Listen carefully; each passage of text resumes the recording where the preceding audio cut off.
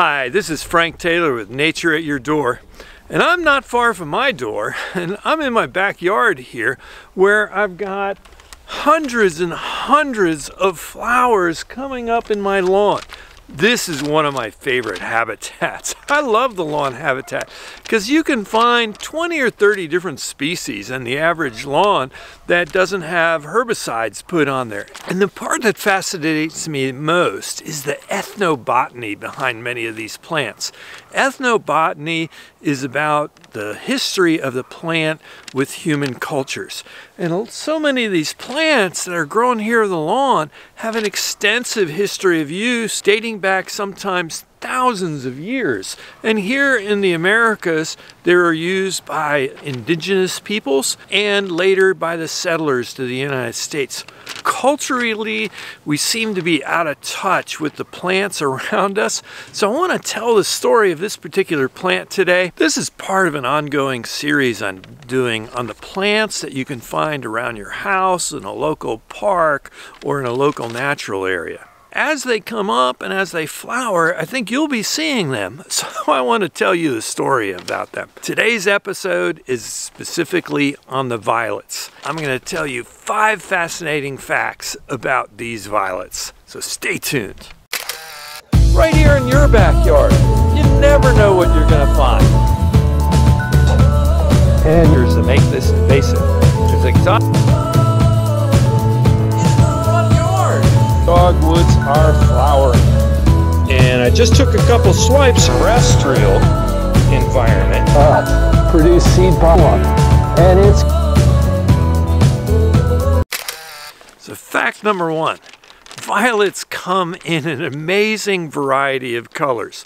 There's blues, purples, purple and white, whites, and even yellows, depending on the species. The species that I have growing here, I think is most likely Viola sororia. And the word sororia means sisters. So many of these species of violets hybridize people have tried to put them into categories and species, but it's been a very frustrating thing to try to do it and to identify them because they come in so many different forms.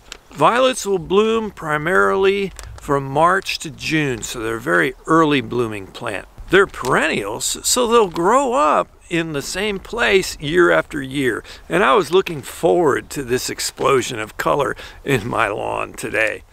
Fascinating fact number two. Violets have been used for thousands of years as food. Here in the Americas, the indigenous peoples ate them as well as the early settlers.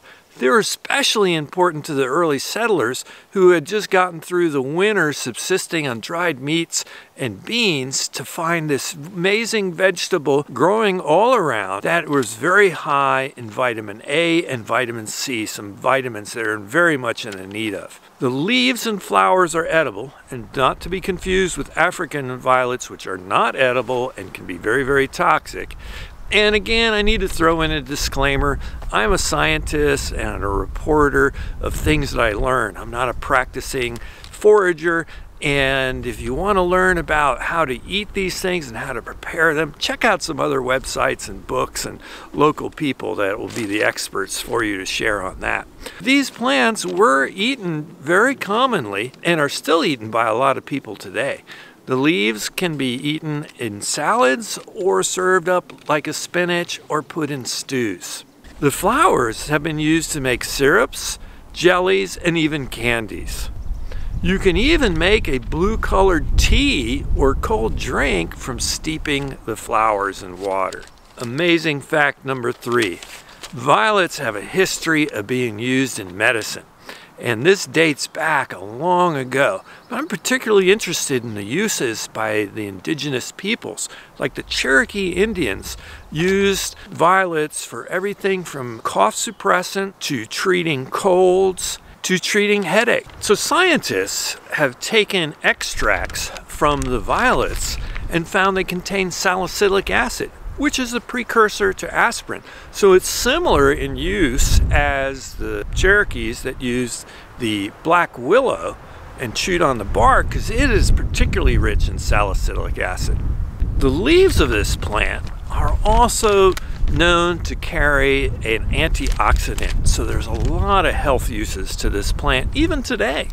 Amazing fact number four. Most of this plant's seed production, and you can see how prolific it is, is not from the flowers, but a special kind of flower that comes after the visible flowering season with the bright colors. The violet produces these small flowers near the ground that never open. They're called cleistogamous flowers. Cleisto means closed, gami means marriage, so it's like closed marriage. So these seeds are not pollinated and don't undergo sexual reproduction as the seeds that are produced in the flowers, but they produce lots and lots of seeds. They're also helped spread by ants. The seeds also have an elaiosome attached to them, which is a nutritious bit of fatty or protein rich nutrition that the ants want. And so they come and take the seeds, eat that part, and discards the seeds so the seeds are spread much like they are in the bloodroot flower. Fascinating fact number five. In the Americas today, there's a movement towards planting a lot of native species or encouraging native species to grow in your yard. One of the benefits of the native species is that there are certain animals and plants that are associated with them that they benefit. For example, the leaves are the choice of fritillary butterflies. So by keeping violets in your yard, you're encouraging and helping the fritillary butterfly population. This is also good food for a lot of different kinds of grazers, including wild turkey and deer and rabbits and even mice that will eat various parts of the plant and eat its seeds. I hope you enjoyed watching this episode of Nature in Your Backyard. I love sharing about these plants that you can find here in a lawn. And I love following what's flowering in the spring and sharing that with you because I think you're going to see the same plants that I do. And here I'll give you a key to identifying them and learning about them, learning about their unique biology and also their ethnobotany, how these plants were used by peoples before us. Thanks for watching. If you like what I do, please subscribe, give me a like, and I love hearing from my viewers. Leave me a comment or a question, and I'll get back to you as soon as I can. Thanks for watching. Till the next video.